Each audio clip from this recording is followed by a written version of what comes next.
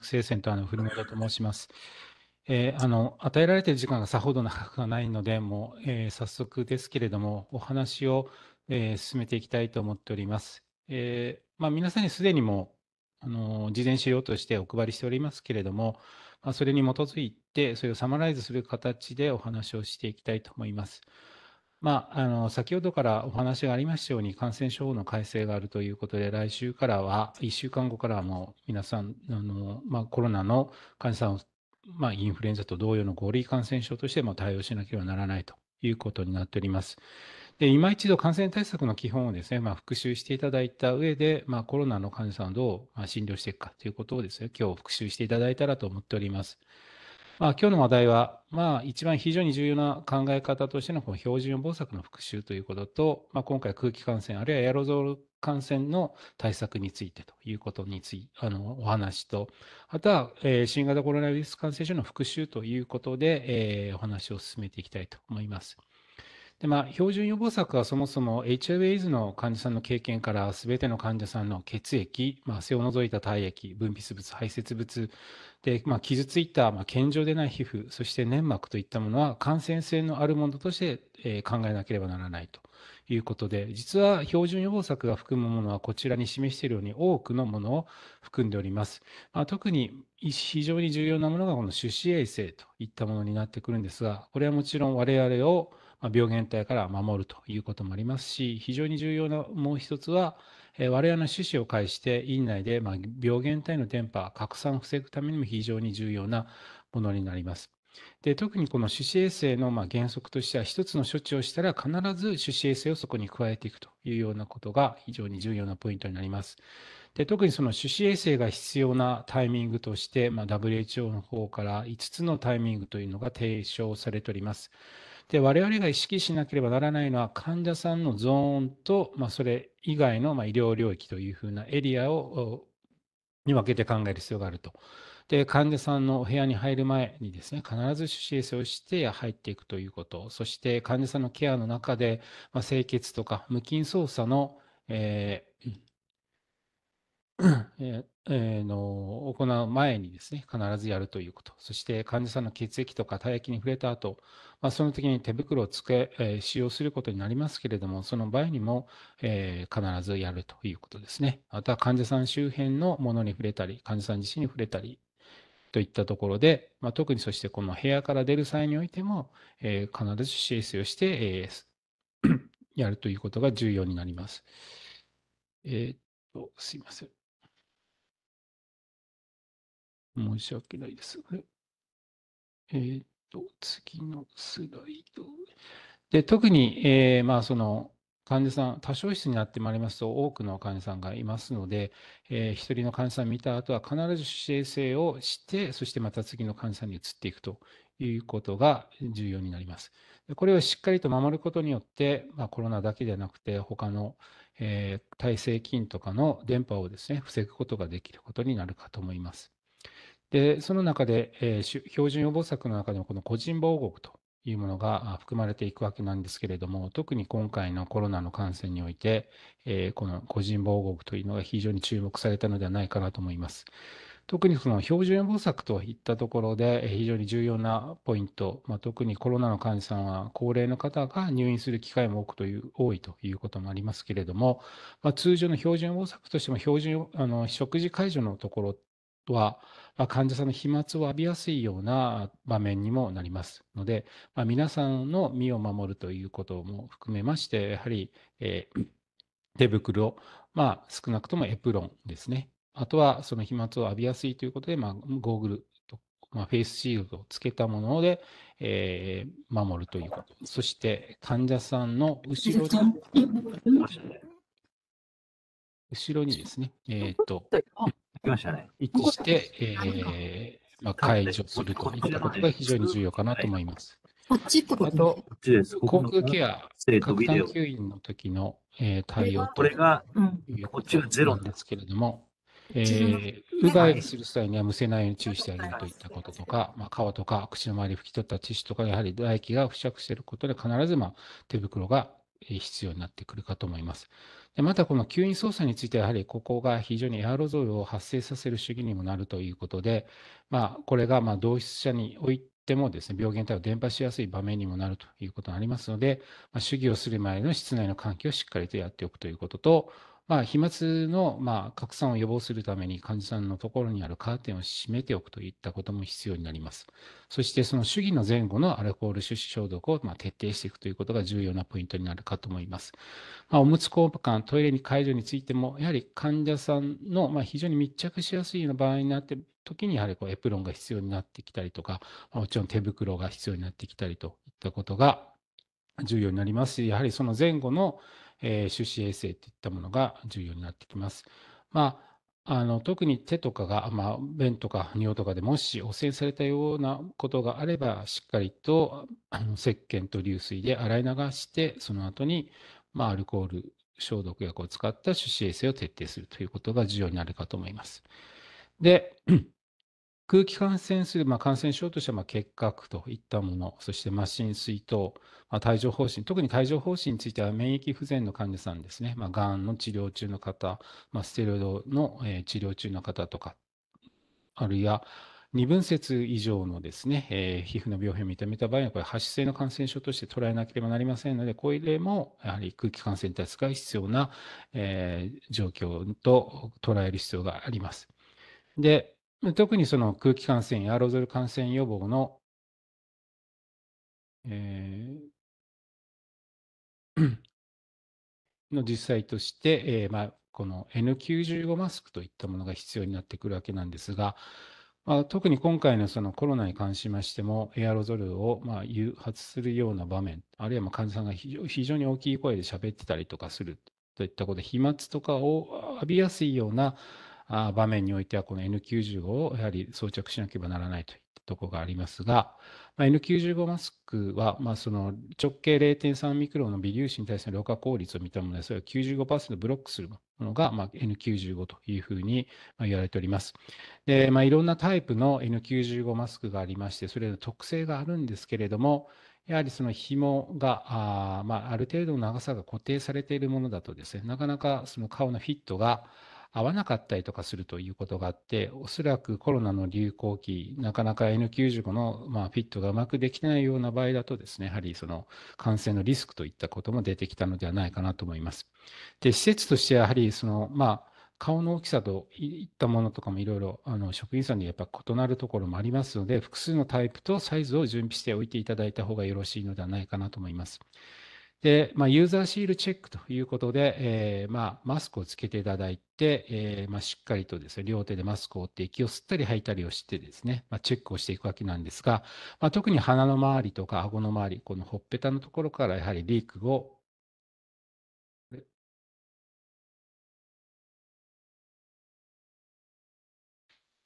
リークが、えー、起きますので、生じますので、え、ここら辺の密着をですね、非常に、え、まあ、しっかりとやっていく必要があると。いうことなんですけれども、まあ、特にその上の方のゴム、あのバンドについてはですね、特に頭頂部に近いところにこう引き上げるような形で、このラインをま密着させるというような工夫だったりとか、あるいは顎の方については、特に女性の場合はですね、やはりこのマスクのこの下の方の紐というのは結構長かったりとかして、どうしても緩くなりやすいといったことがあるので、まあ、場合によってはこう結び目を作って、少し顔と、まあ、紐を短くすることによって顔のフィットを良くするとかっていうのは、ちょっとまあ工夫が必要な場合もあるかと思います。で、まあ、実際はこの定量式のフィットテストといったもので、まあ、正確にですね、そのフィットを、まあ、ちゃんとできているかどうか評価をする必要があるんですが、なかなか、まあ、機器が高額であるということもありまして、どこの医療機関にもあるものではないということで、まあ、先ほどの、まあ、ユーザーシールチェックでですね、しっかりと顔の密着をですと、まあ、マスクの密着の度合いをしっかりやっていただいたらというふうに思います。でまあ、以上が一応標準予防策等についての、まあ、空気感染対策についてのお話ということであるんですけれども、まあ、コロナのちょっと復習をさせていただければと思います。で、まあ、コロナですけれども、まあ、このまあ、ACE2 レセプターといったところがこのコロナウイルスが入ってきて、まあ、脱核をしてそのウイルスの遺伝子が出て、まあ、増幅を行っていくということで体の中のいろんな、えー、人の細胞を利用してですね、えー、彼らはまあ遺伝子の、えー、複製を行ったりとかウイルスの粒子を作ってタンパクを作って、まあ、最終的には放出していくというような、えー、生活生活感を持っております。で、えー、特にこのウイルスの粒子としてこのウイルスはエンベロープを持っているということで、まあ、これが脂質の膜であるということなので、まあ、アルコールとか石鹸で容易に破壊されやすいということで、まあ、多くの海面活性剤、アルコール種子消毒で、えー、対応ができるということになります。あと、まあ、代表的なものとして、この突起物ですね、S タンパク、そして、えー、がありますけれども、これが、まあ、変異株で問題になってくるのは、この S タンパクのいろいろな遺伝子の変異が起きてきて、いろんな形を変えることによって、まあ、人の免疫から逃れたりとか、あるいはワクチン、あるいはその、え、抗体製剤から逃れたりとかするようなものになっております。で一方で、この N タンパクについて、これがま抗原検査の標的になっているということと、まあ、抗体検査とかいったものとかで、え、使われている場所になるかと思います。で、まあ、まだまあ一応オミクロン株がについてお話なんですけども、最近はまあ XBB 株の方も東京の方だとだいぶあの、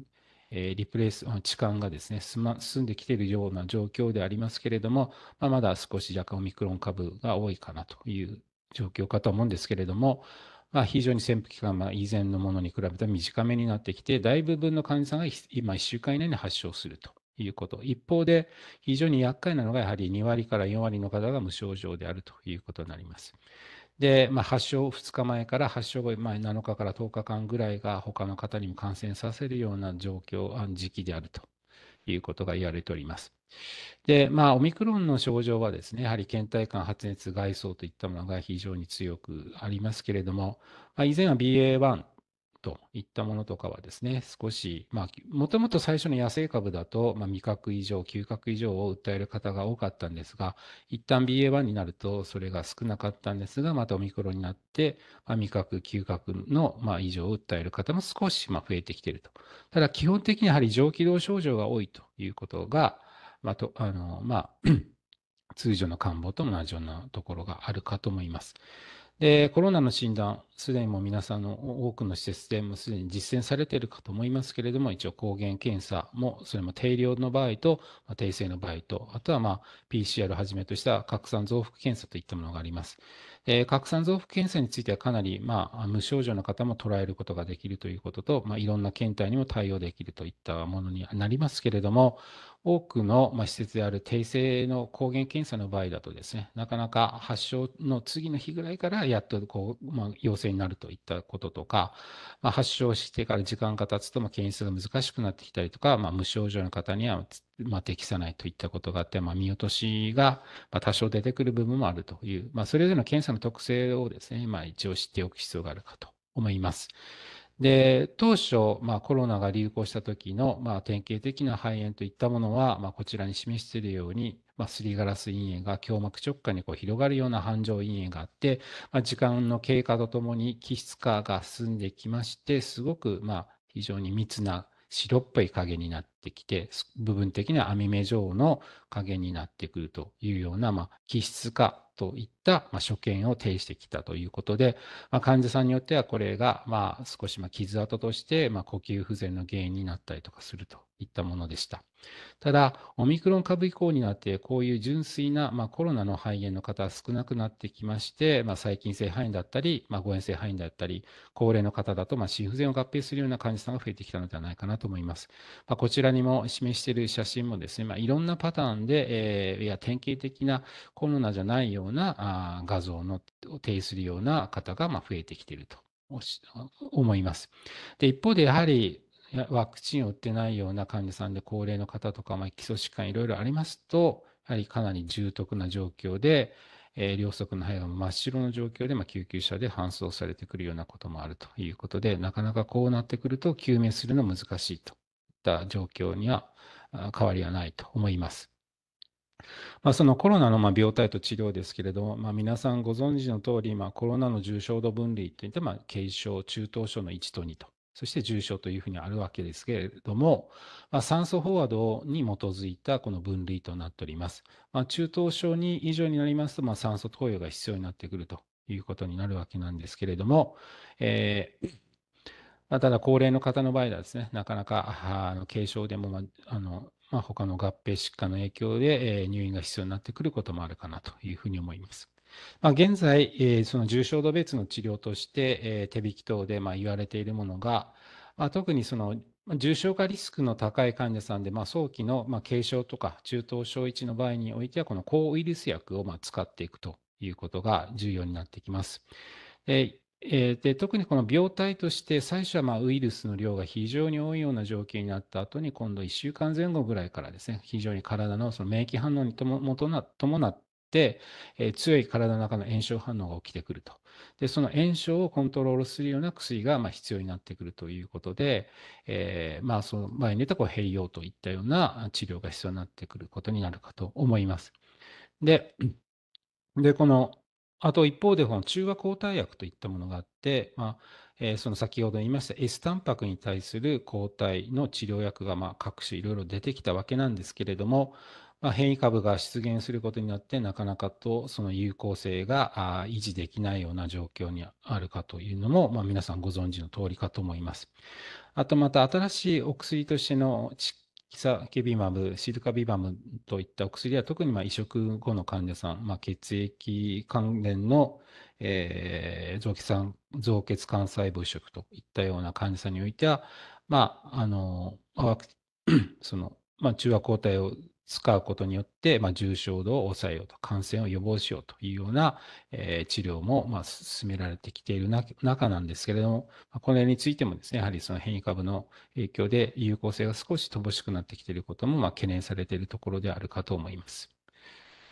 で、その、まあ、患者さんが重症化しやすいリスクを持っているという方が、やはりその抗ウイルス薬の、まあ、まあ、適用といったものになるかとは思うんですけれども、まあ、その重症化のリスク因子としては、まあ、65歳の高齢者、まあ、悪性腫瘍を持っている呼吸器疾患、まあ、高血圧、まあ、こちらに書いているような、えー、リスクを持っている方が、まあ、治療の対象となってくるかとは思います。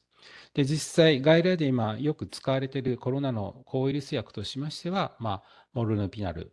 ビル、まあ、ラゲブリオ、そしてパキロビット、ニューマトレル、リトナビル、そして、えー、エンシテロベルという、これゾコーバといったお薬が使われていることになるかと思います。特に、まあ、ラゲブリオにつきましては、同意書も不要になったということで、まあ、今後、まあ、非常に、まあ、あの処方しやすいようなものになってくるのではないかなというふうに思います。で、ただやはりその非常に治療効果が高いとされているのが、実はこのパキロビッドということで、非常にその、まあ、死亡リスク、重症化のリスクはかなり抑えたということで、えー、まあ、非常に効果が高いということで、他の WHO とアメリカとかでもですね、非常に、まあ、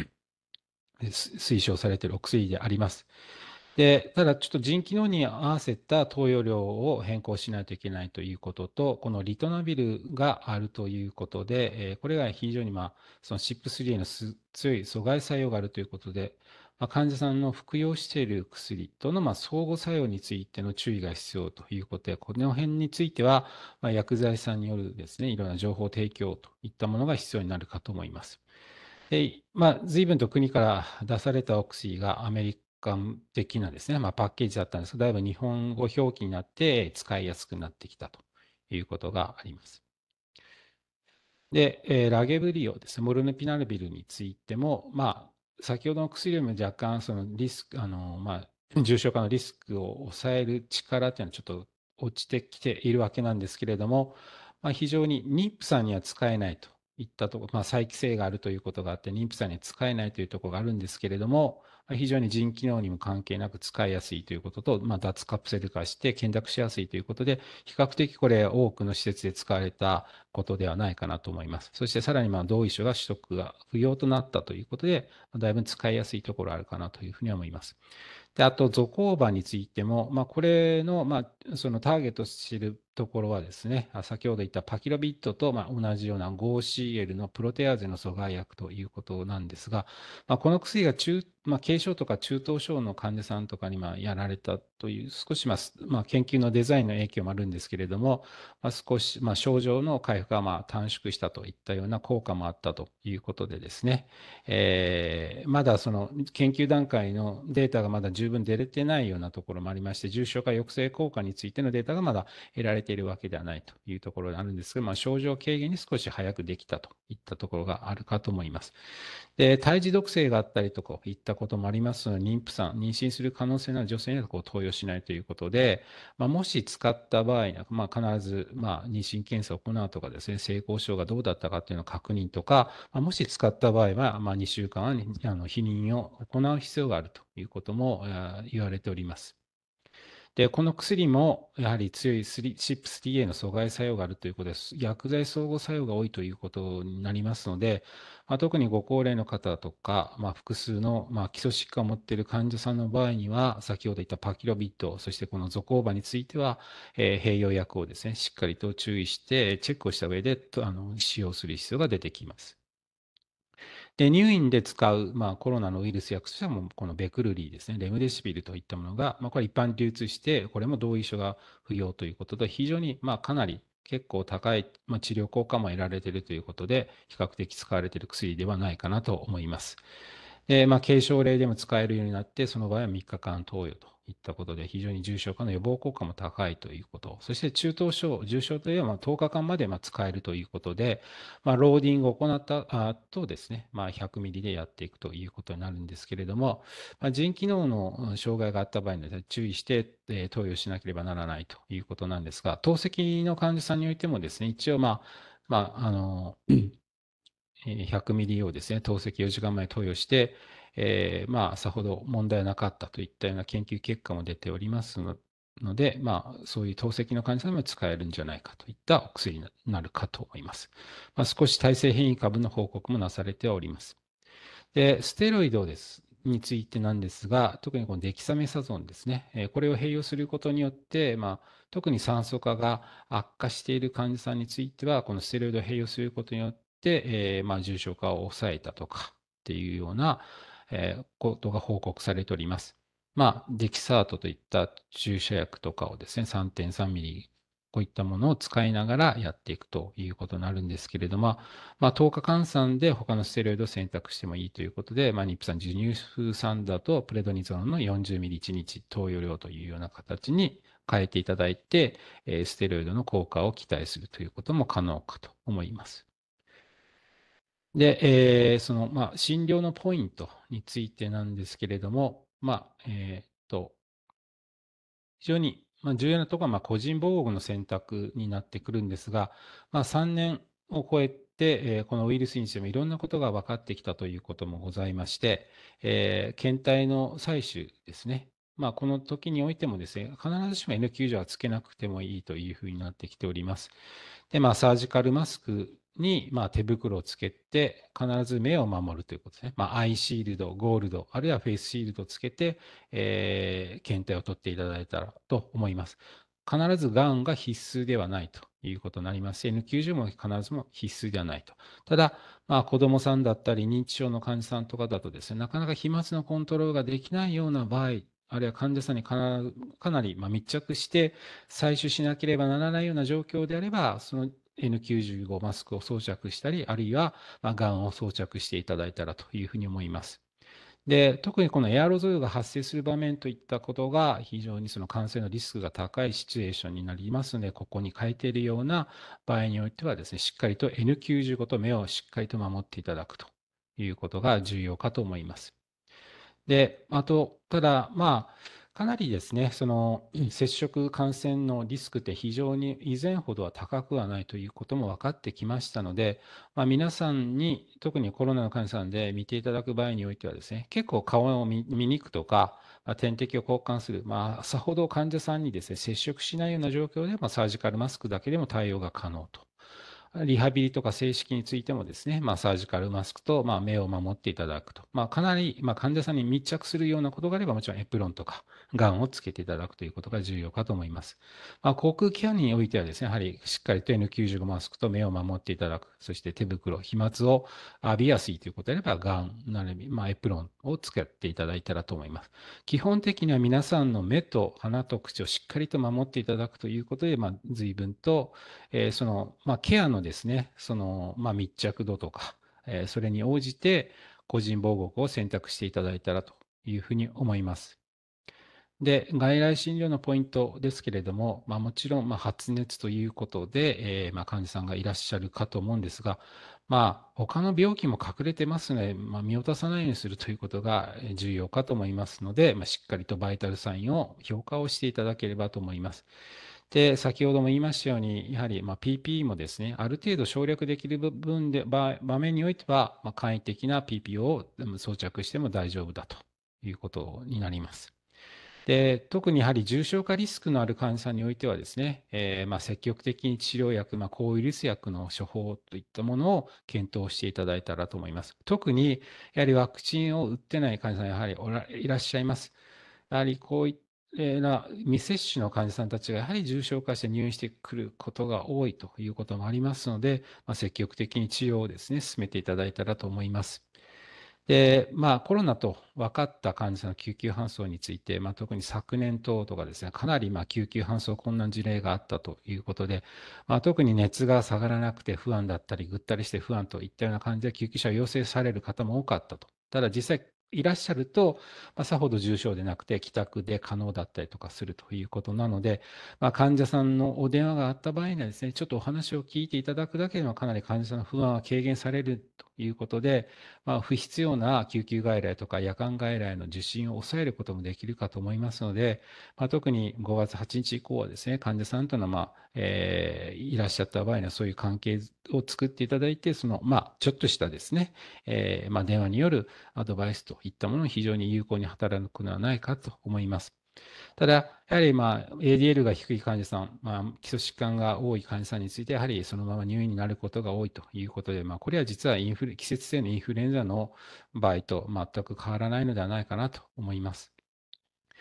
で、えー、もちろん無症状のコロナの患者さんもいるので、熱がないので感染対策が不要というわけではなく、やはりですね、特に救急の場面におきましては、サージカルマスク、アイシールド、処置時の手袋といった、まあ、標準飛沫予防対策はですね、まあ、全ての患者さんで行っていただいたと、行っていただければと思います。で入院の、まあ、おける入院診療のまあポイントといったものになりますが、療養の環境は特に専用区画を使える、まあ、まあ設定する必要はなくて、まあ、病棟内の個室をまあ利用していただければと思います。まあ、その際、換気状態の評価と改善を図っていただければと思いますので、皆さん、各施設のですね、換気状態の評価とか、しっかり把握をしていただければと思います。特にま CO2 モニターとかでの換気状態のチェックとか、でもありますし、えー、あとは病室の方から廊下に空気が流れないような感にする工夫とかですね、まあ、その室内の吸気口の力ちょっと強くして廊下からま室内の方に流れるようにするとかっていうのも、まあ、そのコロナの患者さんのお部屋においては、ま使えるものになるかなと思います。まあ、特にこういう量の酸素療法を行っている場合は可能であれば、ま陰圧個室をま使用ということには今言われておりますけれども、まあ、現実的には一般個室を使っていると。で、まあ、場合によってはそこにヘパフィルターのパーテーションとかも設置していただいたらと思います。まあ、患者さんへの関わりということで、やはり隔離されているということで、やはり患者さんの不安の軽減をできるだけ図っていただいたらと思いますし、まあ、特に脱水がありますので、まあ、適有益療法を使っていただくと。で酸素が必要な患者さんにおいて、やはり腹外療法とかも行って、その酸素化の改善もですね、図っていただいたらというふうに思います。まあ、これゾーニングの一例ですけれども、まあ、患者さんのゾーンがまレッドゾーンとその中間にあたるところがイエローゾーン、そしてまグリーンゾーンというふうに分けられておりますけれども、なかなかイエローゾーンの方で結構あの混乱する方もいらっしゃいますので、まあ、レッドゾーンとグリーンゾーンというふうに分けてやるということもあまあ、大学名ともその方法でやっておりますけれども、まあ、その方がこう明確になってやりやすいということもあります。逆にこのグリーンゾーンです。あえて室内ぐらいまで設けていって、少し、ま、サージカルマスクをつけただけでこう部屋に入って患者さんの様子を見れるような感じに、ま、少しエリアをですね、変化させるというやり方も、ま一方ではないかなと思います。まあ、基本的には、まあ、患者さんを個室に隔離をしていってやっていただければと思います。で、皆さんが働かれるスタッフ室をしっかりとですね、汚染しないようにしていくということで、気づあの注意していただいたらと思います。で、もし患者さんが多い場合には、場合によってはもう全体をですね、まあ、えー、レッドゾーンとして、まあ、やった方が効率的にできる場合もあります。で、コロナ患者さんなんですけれども、熱が続く、あるいはこう再び熱が出たば出たといった場合はですね、まあ、コロナの、まあ、経過が良くても熱が出たりとかあすることがあるんですけれども、もともと正常の免疫でワクチン接種歴といったことであればですね、えコロナが再燃したというよりも、まあ、他の感染症を合併したりとか、まあ、高齢者の場合の方だと、まあ、偽痛風だったり血栓症とか、まあ、いわゆる本来の、まあ、院内感染を発熱を起こす可能性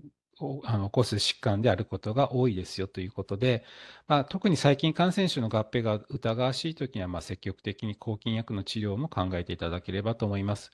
で高齢者の酸素化の悪化の場合は、もちろんそのコロナの、まあ、悪化というよりもですね、まあまあ、二次性の細菌性肺炎だったり、心不全の合併といったことが多いので、そこら辺の、まあ、精査過料といったことも必要になるかと思います。で、この入院によって、特に高齢の方によっては、まあ、若い人でもそうなんですけれども、やはり ADL が低下するということもあります。まあ、特に環境変化に伴った心理的な変化とか、まあ、認知症が悪化したりとかするということなので、まあ、積極的にリハビリを行って ADL をですね、維持していただくということも重要なポイントかと思います。でお部屋の清掃についてもですね、高頻度の接触面については、まあ、1日1回以上はしていただければと思います。まあ、壁とかですね、床はそんなに、えー、消毒水車ありません。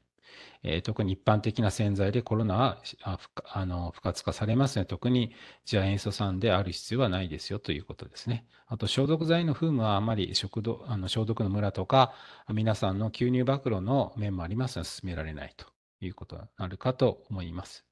もちろん、吐物の場合はですね、えー、やはりその、まあ、次亜塩素酸等での清掃していただくのが非常に重要にはなるかとは思います。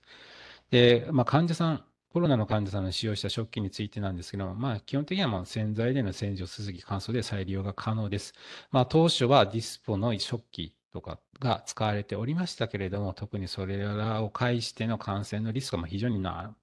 えー、低いではない、低いものというふうに考えられておりますので、まあ、特に大学病院においても、特に一般の患者さんとコロナの患者さんの食器とか、まあ、下膳カードは区別はしておらず、えー、対応しております。あと、そのコロナの患者さんの、まあ、使用の理念とか、洗濯物についてなんですけれども、以前はですね、熱水洗濯して次亜塩素酸といったことというか、言われてたわけなんですけれども、これはもう必須ではないかと思います。まあ、通常通りにですの、まあ、選択でま問題がないということになりかと思いますが、まあ、どうしてもその、まあ、運搬している経路で汚染リスクが気になる場合は、ま、プラスチック袋に入れていただくとか、あとは洗濯袋と、まあ、非常に溶解あの洗濯中にですね、溶解するような袋とかもありますので、えー、そういったものに洗濯物を入れて、まあ、洗濯機に入れていただくというのも、まあ、じあのまあ、一つの方法としてあるのではないかなと思います。で、裏面を回収する際には、まあ、サージカルマスクと手袋が重要ですけれども、まあ、非常に密着しやすいなとか、っていうことがあればですね、まあ、もちろんエプロンつけていただいて構わないということですが、あ、とにかく手指衛生をですね、その前後でやっていただくということが重要かと思います。で、コロナの患者さんの見取りですけれども、特に第7波以降ですね、人員とか、まあ、介護施設の中で見取りになるような方も多かったんではないかなと思います。まあ、できるだけその面会ができるようなですね、その取り組みを各施設でやっていただいたらと思います。で、まあ、特にそのお亡くなりになった場合についてもですね、えー、まあ、以前は非透過性の納体袋は必要であったんですけれども、今年の1月からまあそれが改定されて、まあ、えー、正式花とか肛門への詰め物、おむつとかを行うことによって、体液の流出を防ぐことによって、まあ、納体袋は不要となって、まあ、通常の対応が可能となったというふうに言われています。で、もちろんエンゼル系も通常通りできるということで、えー、まあ、仮想もですね、もう通常通り実施してよいというふうに通達が出ております。ただ、まだまだその業界の方にですね、理解浸透がまだ十分でなかったりとかするところがあるのではないかと思います。で、まあ、クラスターですね。これもまた、院内の、まあ、クラスター非常に、まあ、多くの今回参加されている施設の皆さんの中でも、まあ、経験されたところも多いかと思います。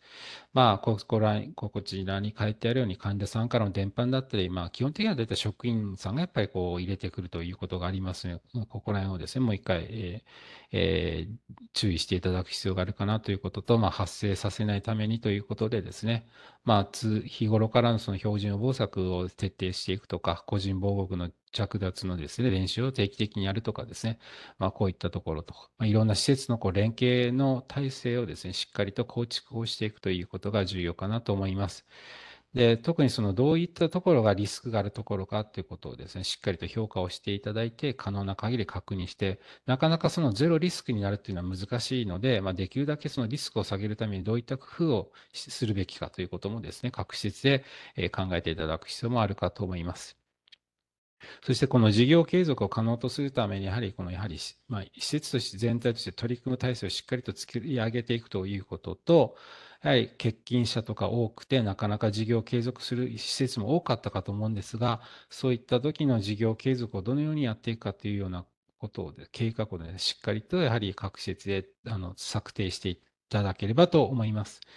で、その、まあ、施設の中におけるその効率的な換気についてですけれども、排気口がここにあるようなお部屋の場合に、まあ、このような配置の仕方で、ここにま例えばパーテーションとか置いてしまうと、まブロックしてしまって、滞留してしまって、えー、換気が十分にいかないということになりますので、こういった場合は90度変換をして、でこの空気の流れに沿った形でパーテーションを置くことによって、この空気の流れを良くしたりとかするとか、あるいは窓の方に、まあえー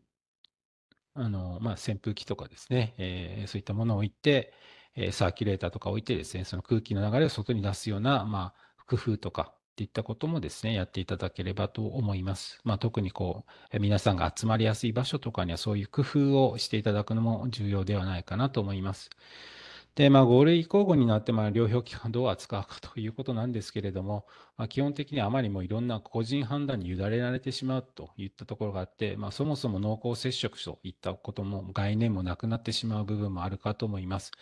でただ、一方で皆さんのいろんな施設においてはですね、あのまあ、スタッフが、まあ、就業制限をどのように考えるかということは親並みかと思うんですが、まあ、多分全国の病院、いろいろと悩んでらっしゃるんじゃないかなと思います。まあ、一応、一例として、まあ、当院の場合なんですけれども、陽性者の場合ですね、まあ、無症状、有症状の方においても診断日から8日目からも就業かというふうにはしております。が、もちろん、まあ、マスクを装着しなければならないといったこととかですね、まあ、10日間が経過するまではリスクもありますから、しっかりと黙食の徹底をしていただくといったことが重要かと思います。まあ、濃厚接触については、基本的には概念としてなくなるかと思うんですが、家庭内でお子さんが陽性になるような場合もあるかと思うんですが、まあ、この前も原則としては、就業制限はなくて、基本的な感染対策を継続していただくような対応で、もし体調不良がが生じた場合には速やかに医療機関を受診して検査を行うというふうにしております。まあ、学校については、あの学校健康の安全保険法についてはですね、インフルエンザ同様にですね、なるかと思うんですけれども、えー、まあ、やはり、あの国立大学病院においてもですね、5日間で、えー、6日目からもあの就業可能とするような病院もあったりとかするということで、まあ、ここら辺は各施設でいろいろと異なる部分もあるのかなというふうに思います。ただ、患者さんについては従来通りになるのかなというふうには思います。